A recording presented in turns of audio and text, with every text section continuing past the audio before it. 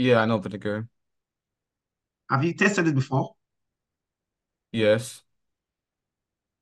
How does it taste? Bad. Very, very bad. Very, very bad. Very bad.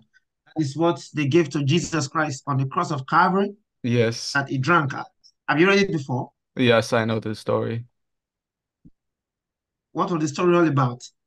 Um, he was thirsty on the cross as he was dying, and the people said, um, he can have vinegar water, and he had to drink from it because he was thirsty. That's what he got.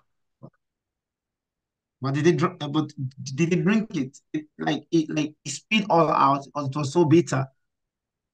Uh, he had to drink it. He didn't drink it. It it immediately tasted it. He poured it out. What?